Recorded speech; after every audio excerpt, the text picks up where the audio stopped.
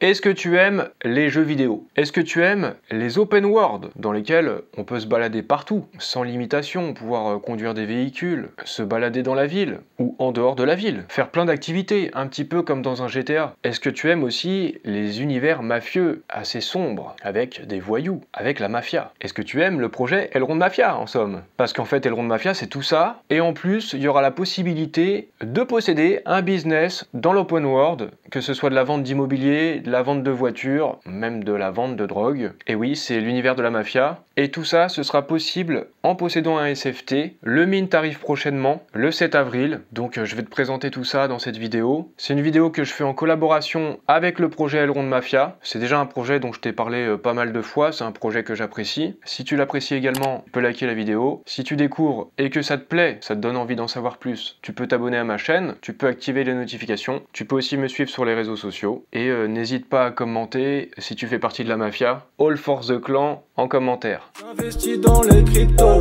pour être riche dans le futur. Père de couilles dans le futal, ainsi soit-il. Mon bitcoin et mon couteau. Dernièrement, il y a eu un nouveau trailer qui est sorti du projet Elrond Mafia. C'est un projet que je vous ai déjà pas mal présenté. Je vous en parle assez régulièrement. Et aussi parce qu'ils ont régulièrement des actualités. Régulièrement, ils délivrent. Ils nous montrent leurs avancements, leurs produits, l'évolution du projet Red. Et c'est quand même assez impressionnant, ça nous tient en haleine. Et du coup, ça me surprend pas du tout qu'ils aient réussi à construire une communauté forte et engagée autour de leur projet. Et là, je vais vous passer quelques extraits qui ont été diffusés au cours des derniers mois et qui m'ont impressionné et qui participent à mon enthousiasme propos de ce projet. Donc je vous montre ça.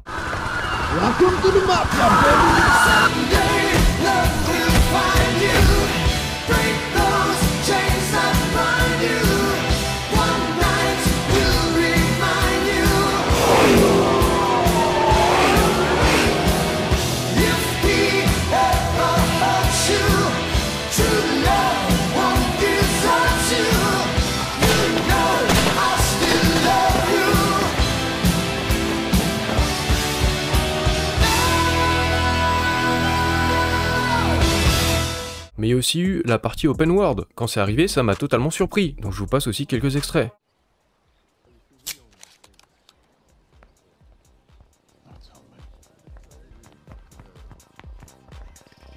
L'open world, euh, on a pu en voir encore un petit peu plus là, comme à travers la vidéo là que je vais vous montrer.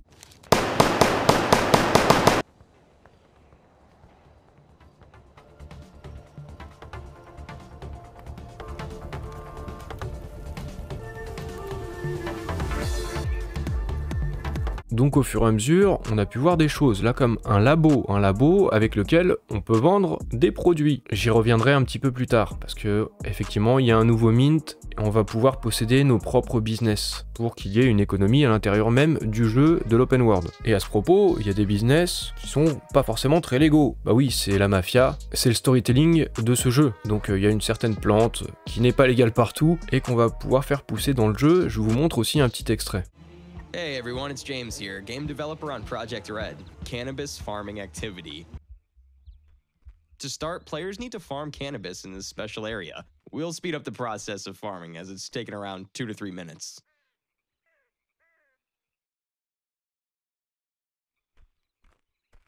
Just take a look at this stunning view. Okay, now let's talk to the drug dealer.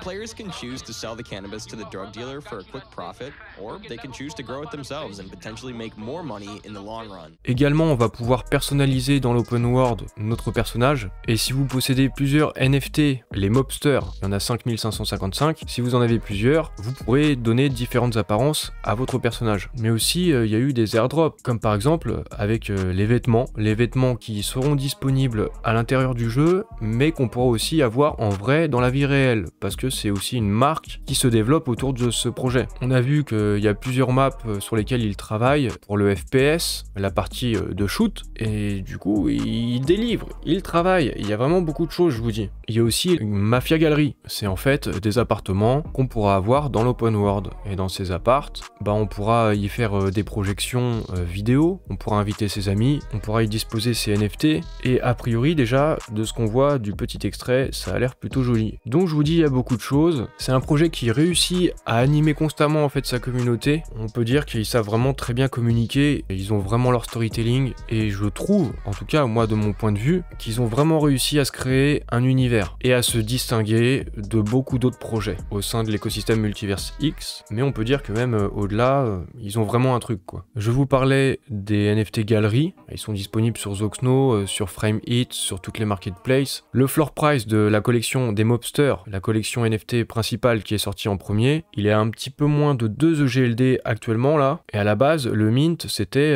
à 1 ou à 1,15 EGLD, je crois. Donc, malgré une période assez compliquée, le bear market et tout ça, ils ont réussi à donner de la valeur à leur collection NFT. C'est déjà une, sacrée prouesse. Hein. Il y a aussi la collection des Mafia Legendary. Alors il y en a très peu qui sont disponibles sur les marketplaces. Il y en a que 50 en tout et ils ont été distribués aux membres de leur communauté et les plus engagés. Et quand on voit le prix de ces NFT, ça tourne autour des 40-50 GLD, on peut dire que c'est une belle récompense. Et récemment, ils ont sorti leur white paper. Il y avait déjà un light paper qui était disponible et je peux d'ailleurs vous remettre une vidéo au-dessus quand je vous présentais pour la première fois ce projet, je vous expliquais euh, les grandes lignes, donc euh, si vous découvrez totalement, ce serait bien de commencer en regardant cette vidéo. Pour lire le white paper, on se rend sur le project trade, une fois qu'on y est, on va en haut là sur le white paper. Je vous mettrai dans la description le site internet du projet, comme ça vous pourrez voir ça vous-même. Et puis bah évidemment, hein, si vous êtes déjà dans le projet, ça peut vous intéresser de lire le white paper. Si vous y êtes pas encore et que ça commence à vous intéresser, euh, je vous conseille de faire vos recherches. Et j'ai trouvé un trade récapitulatif du white paper que je vous mettrai également dans la description. Ça résume euh, l'ensemble du projet. Ça parle de la première collection des gangsters avec 5555 NFT. Il y a notamment 1000 NFT DAO qui permettent d'avoir un droit de vote sur les orientations du projet. Ça nous rappelle aussi que ces NFT ils se sont vendus très très vite. Ça s'est vendu en 3 fois, 3 séries de mint et au bout de quelques secondes, tout était vendu. Donc c'est dire déjà la hype autour de ce projet.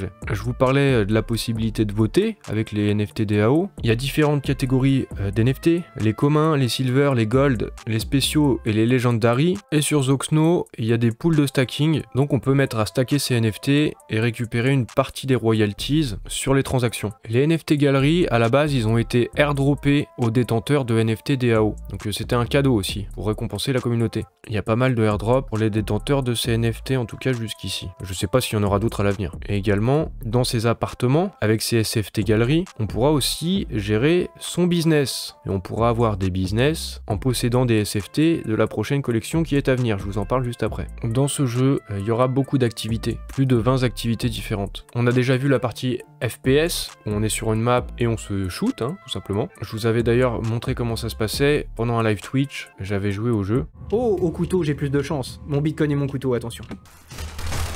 Ah mais non Suis le couteau, mais il a une arme, lui ah mais moi aussi Ah oui, je peux changer d'arme, d'accord. J'ai une arme de poing.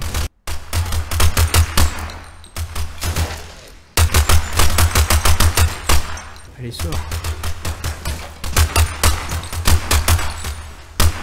Oh non, je me suis fait tuer. Mais il y aura aussi euh, d'autres activités, comme la possibilité de jouer au poker, de faire des courses de voiture, et plein d'autres choses dans l'open world. Et il y a une économie dans le jeu, il y aura deux types de profils. Il y aura le gangster normal, qui va gagner de l'argent en jouant, tout simplement en faisant certaines de ses activités ça va fonctionner par saison et à la fin de chaque saison, on reçoit de l'argent quand on a joué. Après, il y aura encore la possibilité de réutiliser cet argent, par exemple, pour faire des paris et peut-être doubler la mise ou alors tout perdre. Ça dépendra de votre propre tempérament. Et l'autre type de joueur, ce sera le propriétaire de business, même si en fait on peut aussi être les deux à la fois. Hein. On peut jouer normalement et puis aussi avoir un business. On va pouvoir être propriétaire de bâtiments, être une sorte d'actionnaire aussi, et gagner des revenus en lien avec l'activité du SFT en notre possession. Il y aura aussi des votes chaque mois entre les différents actionnaires pour décider du futur de l'entreprise. Donc c'est une économie circulaire. Il y aura un pourcentage qui ira directement dans les wallets des propriétaires de business, propriétaires des SFT. Une partie des revenus iront dans une pool pour le play to earn,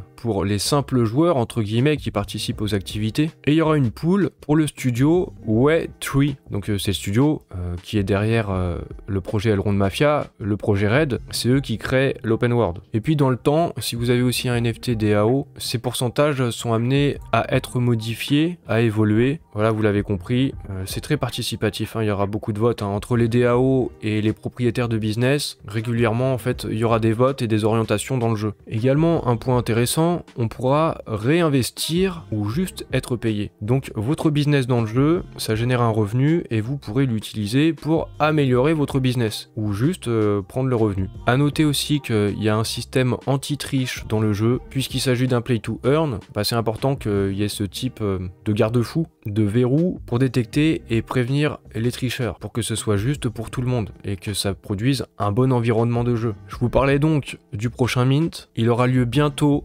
7 avril à 6 pm UTC. Alors il y a eu le changement d'heure là récemment, donc euh, je crois qu'il faut rajouter 2 heures, donc euh, ça ferait 20 heures le 7 avril chez nous, je crois. Hein. Confirmez-moi ça dans les commentaires. Le prix du Mint sera de 100 dollars en EGLD. Les holders de NFT Legendary, ils pourront mint 5 SFT et ceux qui ont des NFT DAO pourront en mint 1 15 minutes avant euh, le reste de tous les autres holders. Ce qui veut dire que si vous avez un NFT Legendary ou un NFT DAO, vous avez un petit avantage parce que dans ce cas-là, vous avez la garantie de pouvoir mint un SFT. Par contre, pour les autres, c'est pas garanti du tout. Hein. Ça va aller très vite. On peut toujours avoir une surprise, mais euh, vu comment ça s'est passé lors des derniers mints, ça va partir fort. Il y aura que 1500 SFT. Vous pouvez voir ça là euh, dans la petite vidéo. On en voit déjà quelques-uns comme le labo, euh, la vente d'armes ou l'endroit pour faire pousser son cannabis. Bon voilà, c'est différents business qu'on pourra faire dans le jeu. Le nom des SFT, c'est donc les Mafia Business Buildings. 15 business au total. Il y aura 100 SFT par business, donc ça fait 1500 SFT. Vous pourrez aussi avoir un casino, vente de voitures ou faire de la vente d'immobilier parmi les différents business. C'est assez varié, hein, c'est plutôt sympa. Ça donne envie de, voir la suite, ça, donne envie de jouer à l'open world. Même si moi, je, je sais que j'ai pas beaucoup de temps pour jouer, quoi. Pour terminer, euh, je vous signale que récemment, j'étais à la Paris Blockchain Week et j'ai pu rencontrer des membres de la team Elrond Mafia. Donc, euh, on me voit sur la photo avec Pierre, Pierre Lucas. On peut le retrouver ici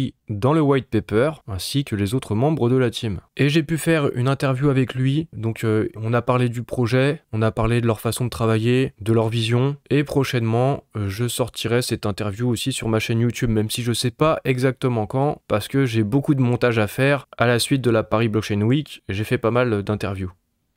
Comme je te l'ai montré dans cette vidéo, le projet Elrond Mafia, c'est un projet qui délivre. C'est un projet prometteur. C'est un projet qui se distingue euh, des autres, que ce soit sur Multiversix ou sur la blockchain d'une manière générale. Il y a une proposition de valeur que je trouve intéressante. Et je pense que c'est ce qui explique que la communauté du projet Elrond Mafia est à ce point engagée. C'est quelque chose qu'on sent beaucoup sur les réseaux sociaux. Il y a donc le prochain Mint le 7 avril. À suivre prochainement aussi sur ma chaîne YouTube, une interview avec Pierre de la team Elrond Mafia. Et puis pour terminer, comme je t'ai dit, euh, c'est un contenu sponsorisé. Voilà, je te le précise. Mais bon, que ce soit sponsorisé ou pas, j'essaie toujours de traiter euh, mes vidéos de la même manière. Alors euh, j'espère que tu apprécies. Si c'est le cas, tu peux mettre un like. Tu peux t'abonner à ma chaîne, activer les notifications, me suivre sur les réseaux sociaux. Et puis évidemment, tu fais tes propres recherches.